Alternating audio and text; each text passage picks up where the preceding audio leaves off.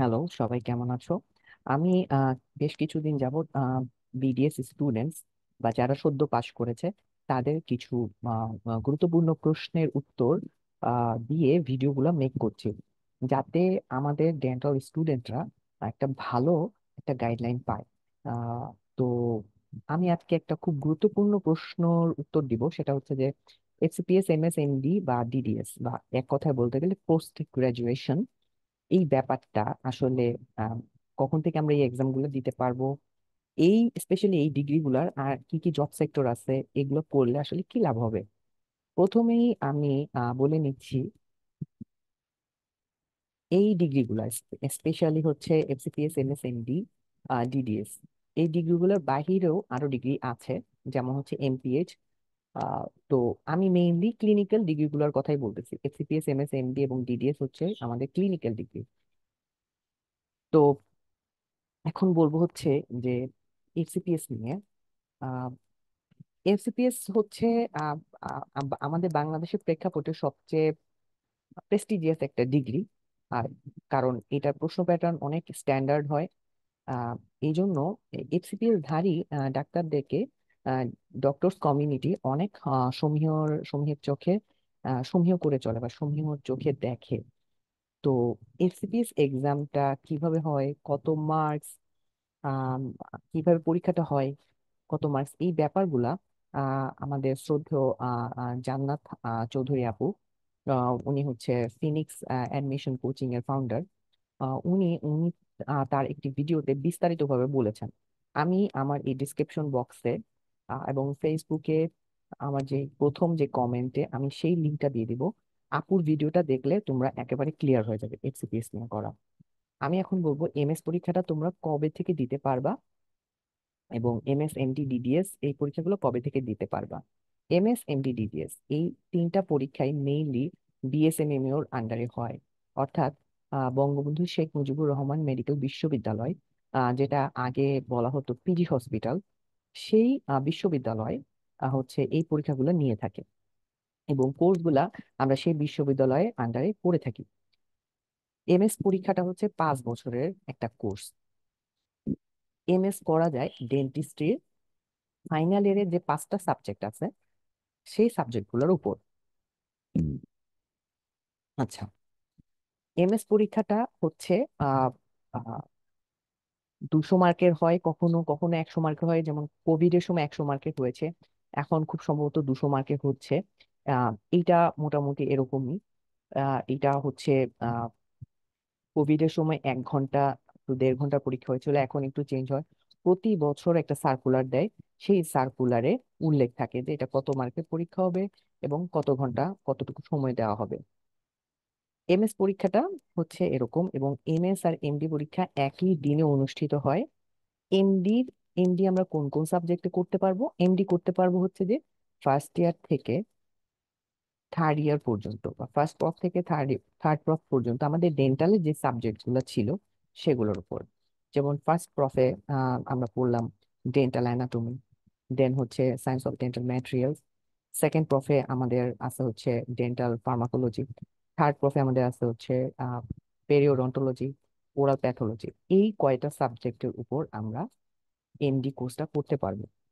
MD কোর্সটা recently শুরু হয়েছে। তো এমএস পরীক্ষা আর এমডি পরীক্ষা একই দিনে, একই প্রশ্নে অনুষ্ঠিত হয়। তো যারা এমএস পরীক্ষা দিবে, তারা এমডি পরীক্ষা দিতে পারবে না। যারা এমডি দিবে, তারা এমএস দিতে পারবে না। এটাই হচ্ছে সিস্টেম এমএস পরীক্ষা এমডি পরীক্ষা, আমরা কবে থেকে মানে এমএস এমডি এবং ডিডিএস আচ্ছা ডিডিএস পরীক্ষাটা হচ্ছে এটার এইটার এ- আচ্ছা এমডি কোর্সটা কত মানে ডিউরেশন কত দিনের তিন বছরের ডিউরেশন এমডি পরীক্ষা।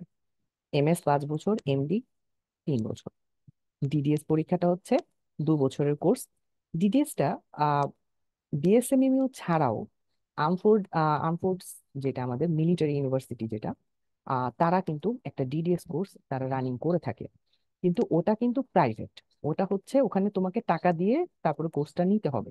ভর্তি পরীক্ষা অবশ্যই আছে, ওখানে কম্পিটিশন আছে বাট ওটা কিন্তু প্রাইভেট। আর এটা হচ্ছে তোমার সরকারি এমএস এমডি ডিডিএস এই তিনটাই হচ্ছে সরকারি। মানে এখানে যদি তুমি অ্যাডমিশন নাও, তোমাকে প্রতি মাসে একটা টাকা দেওয়া হবে, ভাতা হিসেবে। সেটা এখন হচ্ছে আগে ছিল বিশ হাজার এখন সেটা পঁচিশ হাজার হয়েছে এবং সামনে শোনা যাচ্ছে যে এটা তিরিশ, পঁয়ত্রিশ, চল্লিশও হয়ে যেতে পারে। এটা বলা যাচ্ছে না। তবে বাড়বে ইনশাল্লাহ তো এখানে তোমাকে প্রতি মাসে একটা টাকা দেওয়া হবে। তার মানে তুমি বলতে পারো যে এটা একটা জব। তো ডিডিএস পরীক্ষা নিয়ে বলতেছিলাম। ডিডিএস পরীক্ষাটা হচ্ছে তোমার ডিডিএস পরীক্ষাটা হচ্ছে তোমার প্রতি প্রতি বছর মার্চ মাসে খুব সম্ভবত অনুষ্ঠিত হয়। আর এমএস, এমডি পরীক্ষাটা প্রতি বছর নভেম্বর বা ডিসেম্বর মাসে অনুষ্ঠিত হয়। ডিডিএস পরীক্ষাটা এরকম একশো মার্কস বা দুশো মার্কসের হয়। এক্স্যাক্টলি আমার এখন খেয়াল নেই। প্রতি বছরই ডিডিএস পরীক্ষার সার্কুলেশন সার্কুলার আসে। সেখানে উল্লেখ থাকে খুব সম্ভবত একশো মার্কের পরীক্ষা হয়। আচ্ছা ডিডিএস পরীক্ষা হচ্ছে ডিডিএসটা কি তাহলে? দু বছরের কোর্স বিএসএমএম এর আন্ডারে যে ডিডিএস আছে, সেটা হচ্ছে ডিপ্লোমা ইন ডেন্টাল সার্জারি এটাকে বলা হচ্ছে। তো ডিপ্লোমাটা এটা বিএসএমএম এর আন্ডারে যেটা হয়, এটা হলো সব সাবজেক্টের উপরে। মানে এটা নির্দিষ্ট কোনো সাবজেক্ট নেই যে তুমি অর্থতে পড়লা প্রস্তুতি, এরকম কিছু না।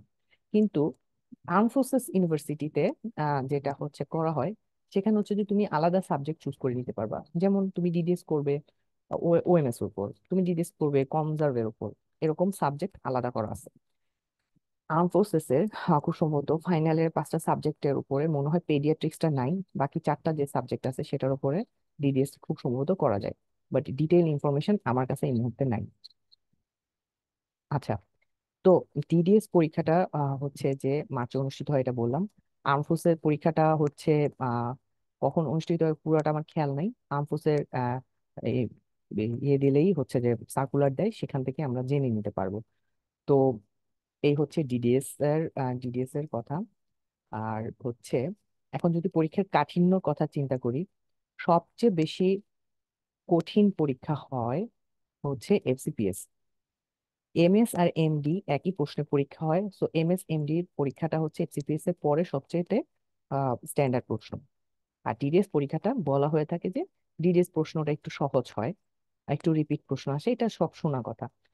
তো সবাই যেহেতু বলছে অবশ্যই সত্য, ডিডিএসটা একটু রিপিট হয়, একটু সহজ, এতটুকুই।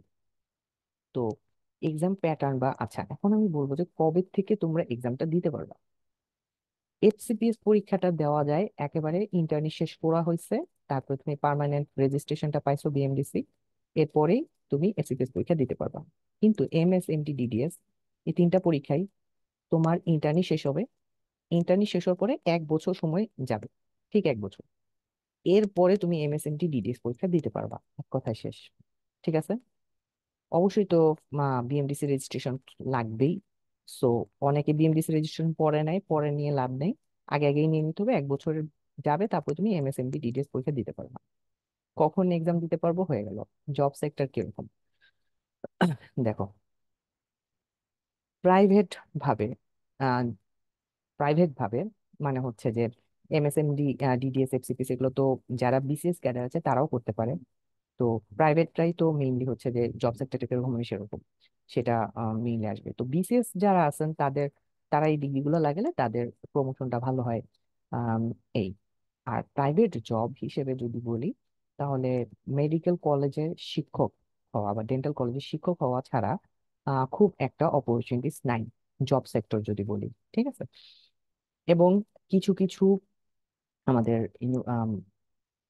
বড় বড় আমাদের কিছু ইয়ে আছে হসপিটাল আছে। সেখানে ডেন্টাল ফ্যাকাল্টি চালু হচ্ছে। ডেন্টিস্ট্রি ওখানে চালু হচ্ছে। সেই হসপিটালগুলোতে তুমি ভালোভাবে জব নিতে পারবা যদি তোমার ডিগ্রি গুলা থাকে। স্পেশালি ওএমএস ওএমএস এর ওএমএস খুব শাইন করতেছে। সো সবগুলোই ভালো ভালো হসপিটালে ওএমএস ডিপার্টমেন্ট আছে। সো ওখানে ভালো জব সার্জন হিসেবে জব নেওয়া যায়। জব নেওয়ার একটা অপরচুনিটিস আছে ওখানে। এবং ওএমএস এ হচ্ছে বিডিএস আমাদের এমবিবিএস এর মতোই সার্জারি ফ্যাকাল্টি তো এটা আসলে ওএমএস এর একটা ভালো অপশন আছে জব হিসেবে। কোনো সার্জনের আন্ডারে তুমি থাকতে পারবা, তার থেকে সার্জারি শিখতে পারবা সো তার সাথে সাথে সে যা যা সার্জারি করে তুমি আস্তে আস্তে শিখতে পারবা, সেখানে একটা জব অপরচুনিটিস আছে।